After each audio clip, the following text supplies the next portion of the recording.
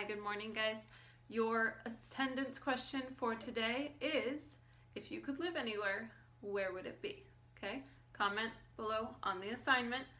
And then your assignment for today is astronaut rescue.